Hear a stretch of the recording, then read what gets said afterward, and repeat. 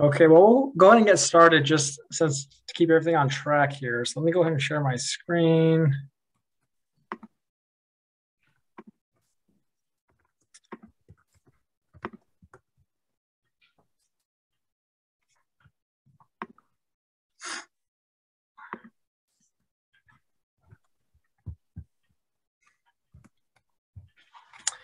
And we'll give people a little bit more time to kind of join here, but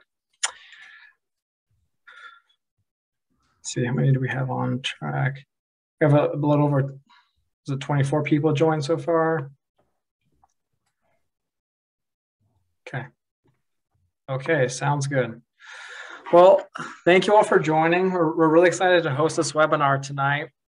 Uh, my name is Josh Romero. I'm I'm one of the PM&R PGY3 uh, residents at Mayo Clinic in Rochester, Minnesota. I'm this year's 2022 AMSSM Sports Medicine Resident Council President. And I speak on behalf of both the Sports Resident, Resident Council as well as the Medical Student Interest Group in saying welcome, and we're really excited to have you all here with us tonight. So tonight's going to be an Ask a Resident webinar, and it's going to be a question and, and answer format. Now, we, we really want this to be an informal session and we're really hopeful that this provides a lot of helpful information for you all that joined. So with that being said, I'll go ahead and introduce the, the panel of speakers. So can can each one from everybody from the SMRC as well as Jess go ahead and introduce themselves? And we can go ahead and start with Jess since you're, the top of my screen here. All right. Um, hello, everybody. Thanks so much for coming out. Um, so I'm a rising fourth year. Um, I'm at Central Michigan University.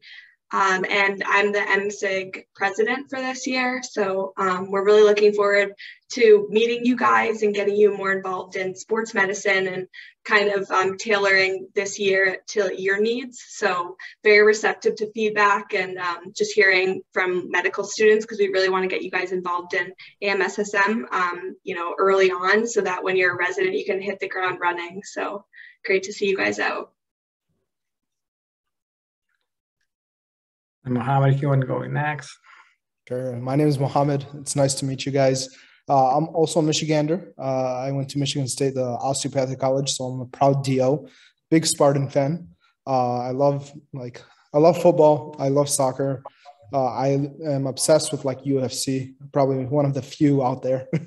so uh, just like Jess said, uh, I think being part of that you know AMSSM as a medical student is is just amazing. You guys will have such a good experience, and hopefully we can uh, we can share that experience and make it the best possible. Anna. Hey everyone, my name is Anna uh, Bueller. I'm um, an internal medicine uh, resident on the SMRC. I am from San Diego, but I'm at the University of Colorado, Colorado right now for my residency program. I'm a second year, soon to be a third year. Um, and yeah, excited to be here. Great. Uh, Raven? Hey guys, what's going on? My name is Raven Patel. I'm a second year family medicine resident, about to be a three at Inspira Health Network in South Jersey, and I'm the family medicine res- representative for um, the SMRC, and excited to be here tonight.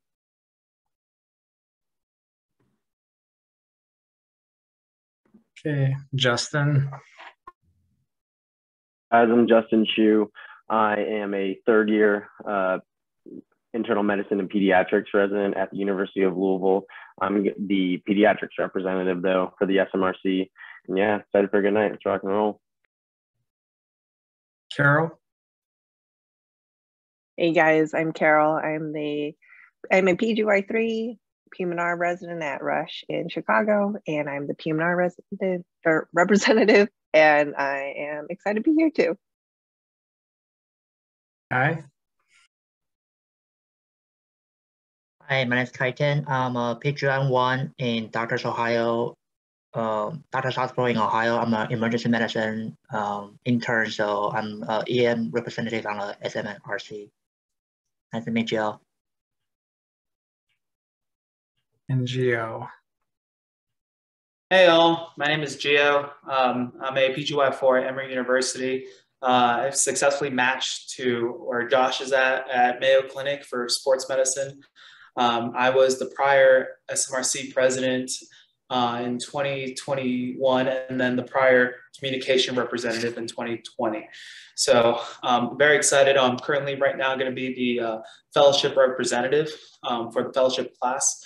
So really, really excited to get the learners out there, the medical students on board on what is, you know, the route to journey of sports medicine.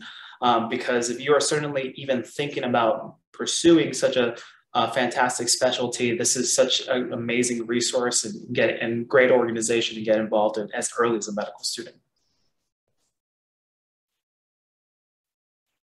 Great. And then Joan, did you want to go and introduce yourself as well?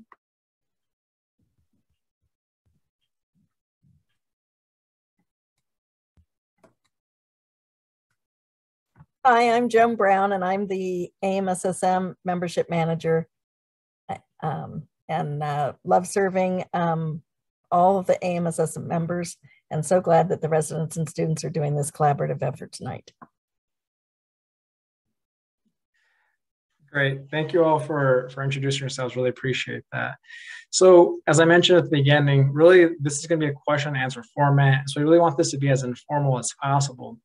Now, with that being said, we've uh, broken this up into two segments. The first segment is going to be an overview of common questions that medical students have frequently asked us, as well as questions that have been posed to, MSIG members. And during that time, the panel is going to be all of the people you just heard from. The second segment is going to be a breakout sessions. And during that, we're going to be breaking off into each primary specialty. So each specialty that's been represented here, we're going to break off and have an additional panel uh, with, with more members representing each primary specialty. Now, on that note, if you can all please, who are attending right now, please in the chat, place your full name as well as the primary specialty that you want to attend during the breakout session.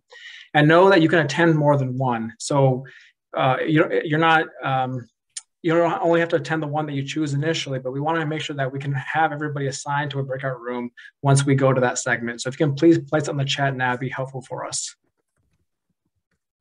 So what, what are the what's the goal of, of tonight? So really we, it's it's threefold. So we really want you to feel more confident about the upcoming residency applications. We want you to learn about resources that are available by the AMSSM for medical student members. And I also want you to connect with fellow peers interested in sports medicine. But really, overarchingly, we really want you just to have fun and hopefully learn something new tonight. So just to go through a brief overview. So the road to residency. So so a lot of a common question that people ask is, well, how, how can I, I match well in, in the residency of my choice? Well, it's going to come as no surprise that really it just comes down to trying to do as well as, as you can in medical school. And, and what does that mean? Well, really it's, it's about focusing on each step in the process so really trying to do as well as you can in the preclinical years as well as in the clinical years and i think part of what what doing well is really trying to develop good habits because a good fellow, a good resident, all come from being a good medical student. So with each step, you want to build upon uh, solid foundational principles. So that's that's that's really helpful as you kind of go through this stage and then each stage thereafter. Now, also medical school.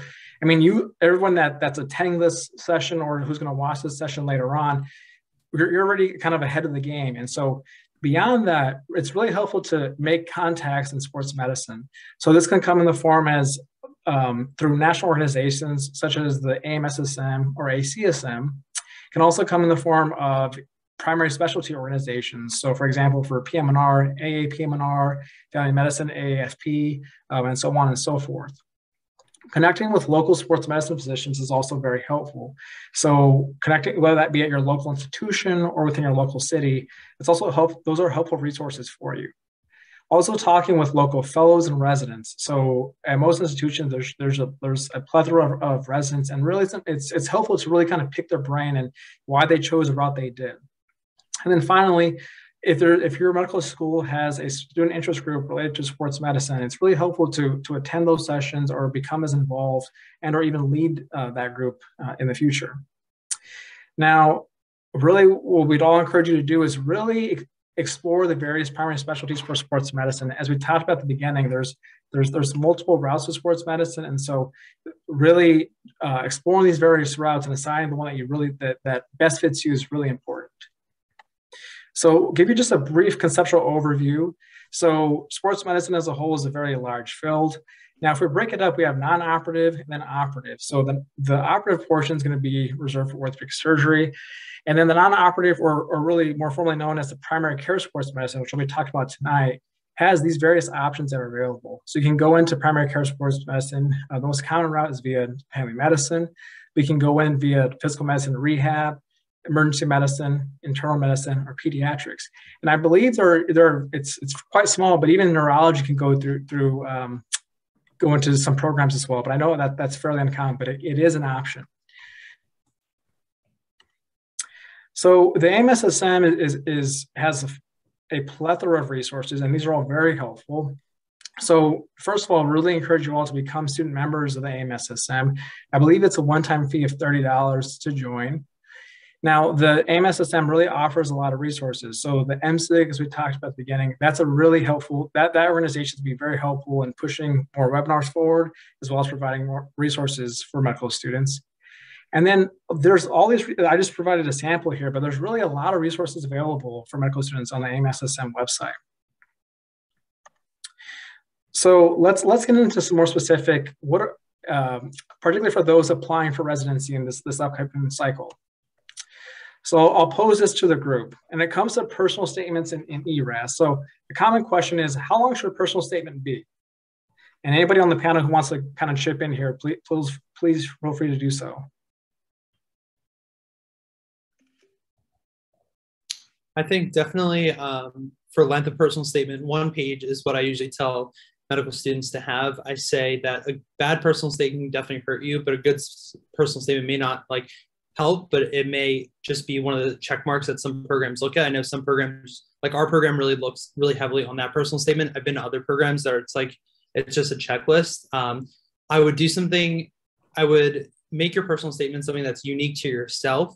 I wouldn't try to go off cookie cutter templates and just try to list off your CV. I think that's one of the biggest things that it's hard not to do. Just re- rewrite your CV.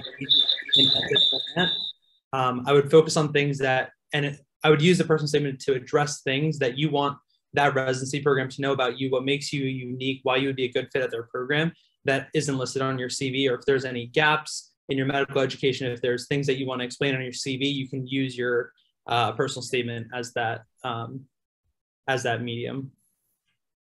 I think that last part Raven said was a is a big deal. Uh, if you have like red flags, I mean, you would be shocked. You're not alone. There's so many people out there uh, just like you, you know, but I would address it in the personal statement. Um, we all kind of go through the same path during this. And when we're reviewing applications or when we're talking to medical students that want to join the residency program, I think a big part of it is okay, was it in the personal statement more so than uh, what was that red flag of theirs, which might not even be a red flag for a residency program? I would also just add like in life or whenever if you're writing a personal statement like you should always have at least a couple other people looking at it and helping you proofread. Um, like do not just write it and submit it without anyone else's input because there's things that people will just comment on that you you know you don't think it sounds odd but they might you know bring up things that you wouldn't notice or grammar or whatever it is. So that's a good rule of thumb for all personal statements. Going off of that if you have a spelling mistake in it, that's kind of a red flag because it just shows that you're not paying attention, you know, you don't have good attention to detail. So, like Anna said, that's important to have someone read it. Um, another thing that I've heard from a lot of sports docs specifically is they don't care about the time you tore your ACL. And yet it's so common, especially in sports, to have this injury, you did rehab, and then now you want to be a sports doc. If there's something interesting and um, different about your story, it, it's still good to write in there and talk about your motivation. But if it's just that generic story, it's actually not that interesting because most people going into sports probably have something similar to that. Yeah, I mean, a lot of things have been brought up that's really strong. Um, I do also agree that you should have multiple people read your personal statement. And like Anna kind of said too, if someone could have like some type of English or like writing background, that's really helpful. So you're not missing any like simple things like grammatic or subject verb agreement, stuff like that. Um, and like it's already kind of been harped on too, like it really is, um, it's just another opportunity for you to kind of share things that you can put in a different way um, and be more unique than you can just list in your CV. But just don't obviously rewrite that like they've already said too. Um, and like like they've already kind of elaborated, it's more likely gonna it's easier to be just like a regular piece of hay in the haystack as opposed to like that. There's very little, very few amazingly well written personal statements. You're likely just to be like this is another one in all these program directors read like hundreds of, of personal statements. So as long as you don't stand out in a bad way, it probably won't hurt you, but is that opportunity for you to kind of share um, a little bit more by yourself in a more personal and unique unique way. Um, so the more unique you can be in a positive, that was really good. Um, yeah. I'm gonna give my two cents. Um, the personal statement, just breaking it down uh, for medical students, focusing on going into the residency do not make it 100% sports related because that is very, very key, especially me being chief, being chief resident for this year for this residency program and reviewing all the personal statements for upcoming, for incoming medical students.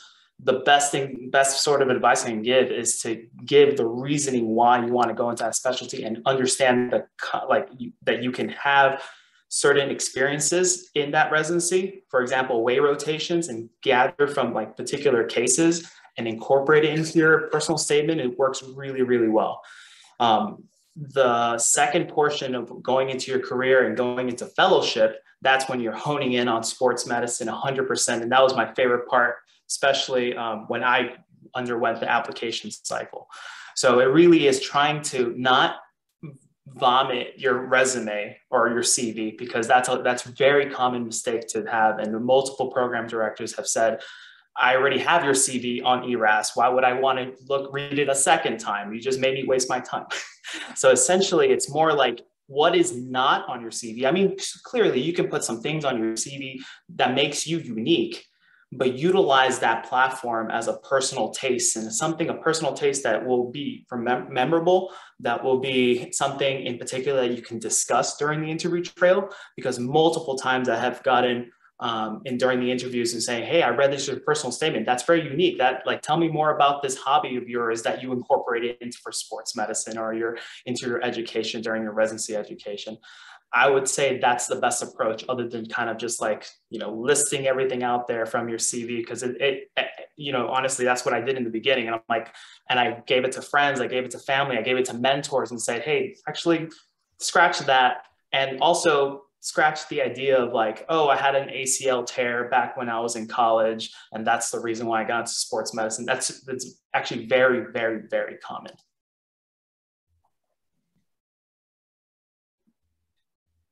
Yeah, that was a very good discussion. I really don't have much to add to that.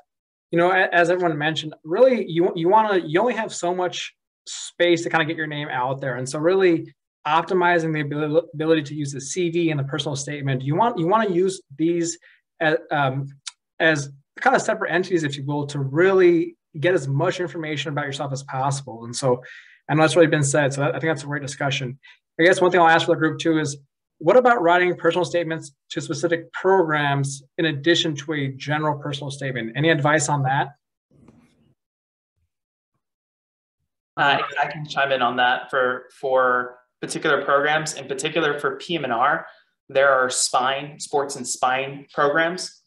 Um, and they sometimes cater to, for example, you know, fluoro experiences and all that stuff. I had, for that reason, had a personal statement for primarily primary care-ish family medicine based sports programs and then primarily PM&R based sports medicine programs. And that worked really well for me.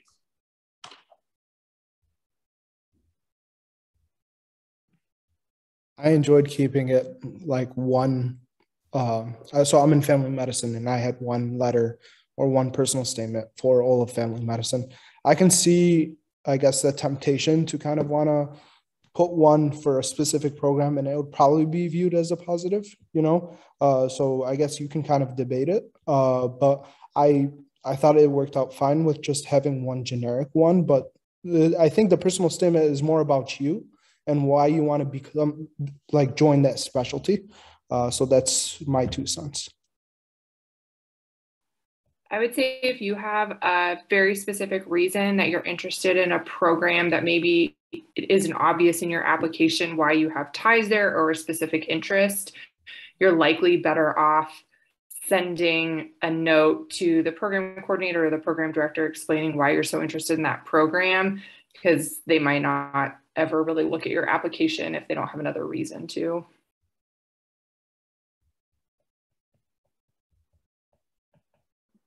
Okay, great. Uh, we'll, we'll, keep moving forward here. Thank you all for your input. So now, one question that's been posed to is how to list sports medicine related experiences on, and that, and par- primarily as it goes for ERAS for residency.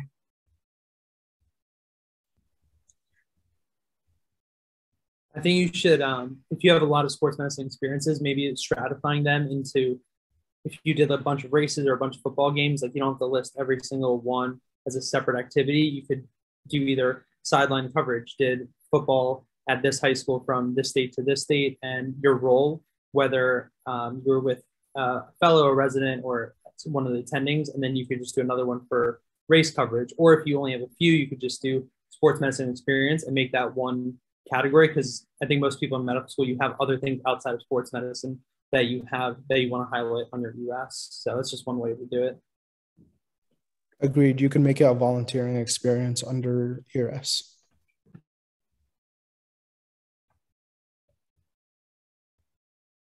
For folks that uh, want to get a little bit more specific on the sports coverage, I think one of the best advice that I got was to label which one was truly independent coverage versus which one was shadowing.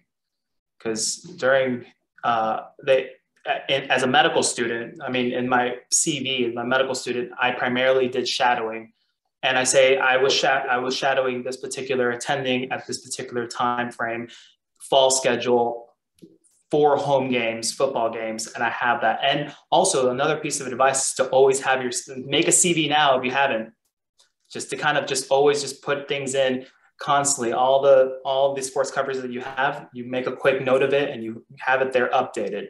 But having that ability to say, I've had these amount of games as independent coverage is very nice for people who are reading your resume. And then they can say, okay, and this person has had, you know, has graduated into a nice sports mes- sports sideline coverage. Okay, just in the interest of time, I think we'll keep moving forward here. So um, signaling, this is new for this year, and I'll have Jess just quickly talk about this. Yeah, um, yeah, a couple people post questions about this, and I know this is, you know, for everyone that's about to apply, um, kind of a little bit anxiety provoking because there's really not a lot um, in a lot of programs. This is new this year, and so I could just briefly go through it, um, but I just wanted to highlight that this past week, the AAMC uh, released a guide for um, the supplemental application and a webinar. So that's why we're just gonna really quickly um, do a quick overview of this, but that's like a very great resource um, and goes through just the rationale behind it.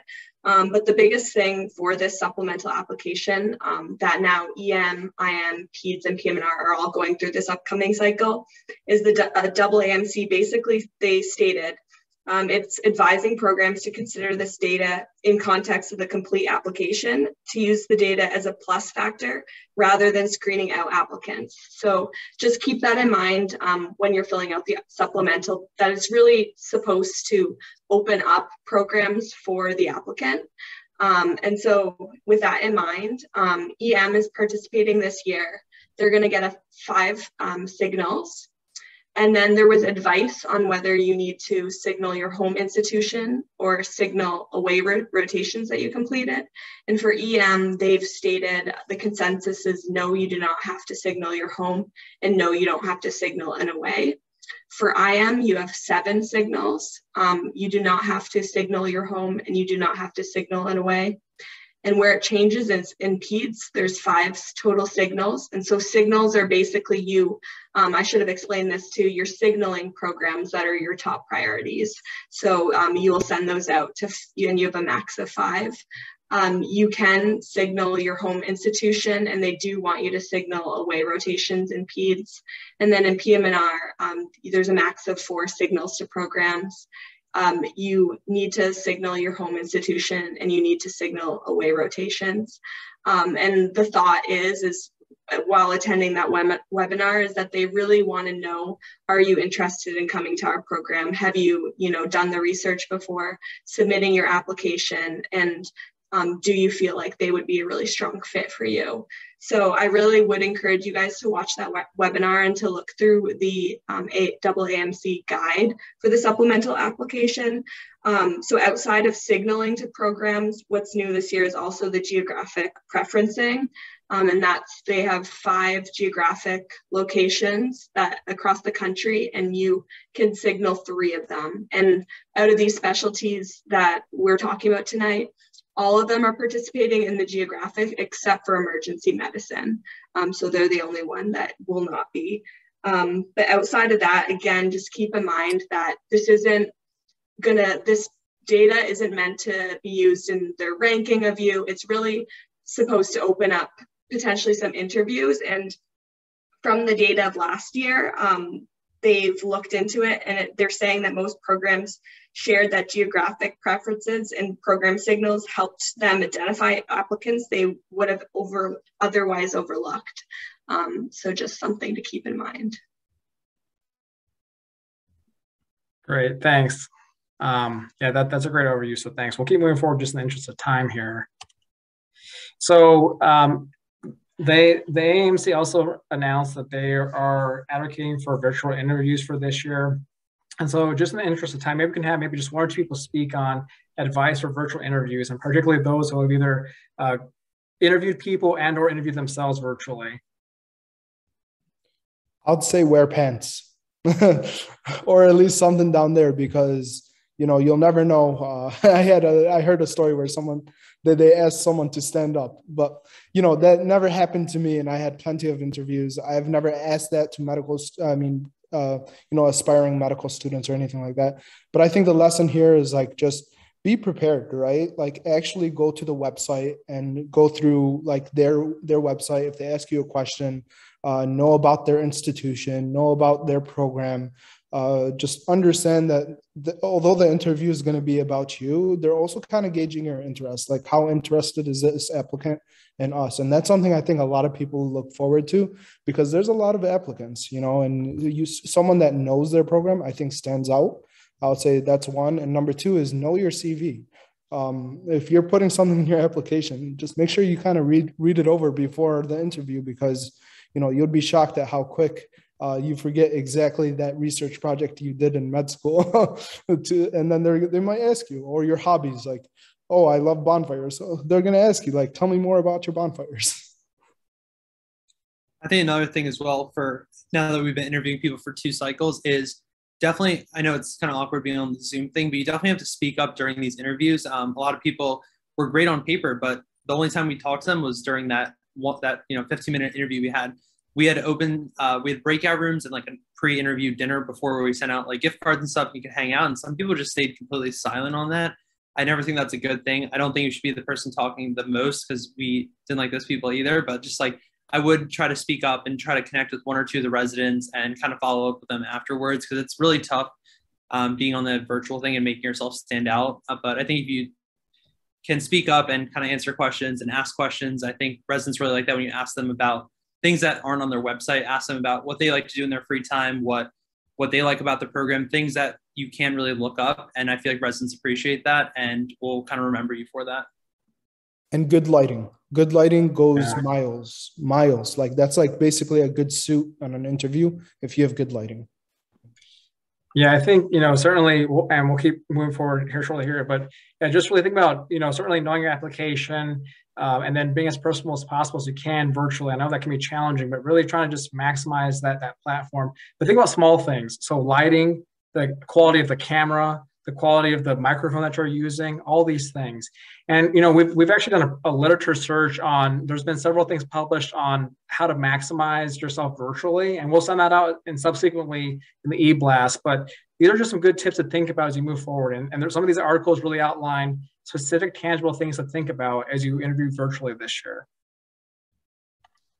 So, um, and then what are some things to, to, prioritize in the rank list? So we all have some ideas of, of things we prioritize as a medical student, but as you start to look back now being in residency, what advice would you have for medical students in terms of prioritizing their rank lists? Um, i can go ahead first on this one. I, I think one of the biggest things is for me has been mentorship. And so I think that what I mean by that is availability of mentors, uh, there, and I think having mentors in multiple facets. So having a research mentor, a clinical mentor, somebody who's going to vouch for you just personally. Um, I think I think there, you can have various types of mentors, but I think for me, mentorship and the culture of our program have really shaped how I view things. And so, you know, as a medical student, I don't know that I thought about those things as much as I do now as a resident. So as I go forward to fellowship, that's something I'm going to be prioritizing very heavily because I think that those things have really significantly impacted my development as a resident. I think I'll quickly chime in here. For me, it was kind of like location, family, community. Uh, those things mattered a lot to me at the time because uh, I think you maximize yourself if you're comfortable in that in that sense, especially during residency. It's a long process. Uh, but that being said, I think you need to heavily weigh that with um, you know a good residency experience. I think those two uh, fi- find your scale and weigh those two, and you'll have your answer. Yeah, yeah, for sure. Go wherever you think you're going to be happy. There's great residency programs everywhere. You're going to get good training. You're going to see a lot of patients. You're going to learn a lot of things. Go where you'll be happy. It's all that matters at the end of the day, among other things. But big. And one thing I'll say too is certainly the program you do to you go to does shape you to some degree, but by and large, who you are as an individual and what you put into residency really is going to be the biggest thing. And so I think the program is one factor, but really a lot of it is, is, is what you put into residency yourself. So you keep that in mind as you move forward that the program is one factor, but really you as an individual is probably the biggest factor, at least in my opinion. Um, and then we'll just, uh, just because we're running a little bit late here, we'll just keep moving forward. Now, and this is probably the last thing we talk about. So some sports medicine specific questions. So number one, what primary specialty to choose. And I think that we can probably go through this a little bit more in the breakout sessions, but what are some, what are some ways to get involved in sports medicine during residency that, that each of us have had the opportunity to do so far? I think getting involved with AMSSM obviously is a huge one. They have amazing resources. It's a good network of people to connect with through social. Uh, we're really pushing that this year. And just honestly, what I did is just kind of get involved if you don't have a primary uh, sports medicine fellowship at your program or orthopedics department just reaching out to the outside communities with private practice orthopedics and anyone else who's a sports medicine doctor a lot of sports medicine doctors are super um, receptive to talking to you and just kind of giving you advice and so meeting residents and fellows is super helpful in residency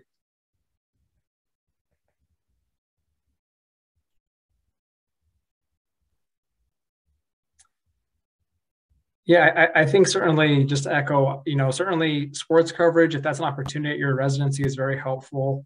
Um, and I think that, that that's great. And I think again, to kind of getting in, plugged in with any mentors, any mentors, whether that's um, faculty who are fellowship trained in sports medicine or reaching out to, to local uh, prior practice physicians too, if, if that's available in your, in your network.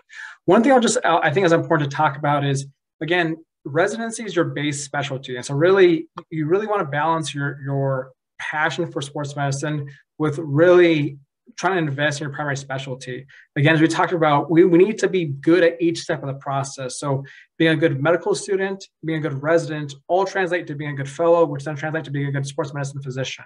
So we really want to we want to embrace the process and lean into each step of that.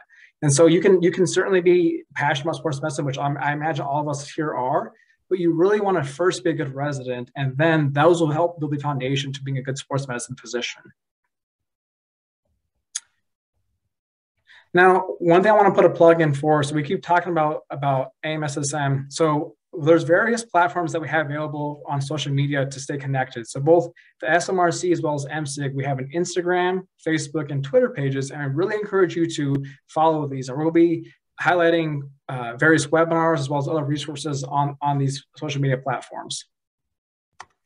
Now we're going to go ahead and go to the breakout rooms. And if you haven't already, please put your name and the specialty that you'd like to go, the breakout room that you'd like to go into in the chat now. And we'll transition to the breakout rooms. Once we go to the breakout rooms, we won't come back to a, to a large group setting uh, again. So that will end in the breakout rooms. Now, again, if you'd like to go transition from a specific breakout room to another, come back to the main room and then we'll have somebody available in the main room that can transfer you to the, the new breakout room. Again, thank you all for your time and attention this evening, and, and we'll make the transition to the breakout rooms now. Hey, uh, so I'm going to make an announcement um, for the transfer of the breakout rooms. Uh, we're going to be doing that to individual Zoom links. Uh, Joan has copied and pasted, it, and we're doing that because we would like to record it, and we can't record multiple breakout rooms in the, in the same time. So I also pasted all the multiple Zoom links. If you'd like, I think if you're interested in going to multiple uh, breakout rooms, please just copy the whole entire comment and then have it pasted so then you can just kind of uh, click on the links to go to individual rooms. Okay, this room in itself, correct me if I'm wrong, Joan, is going to be family medicine room. That's correct.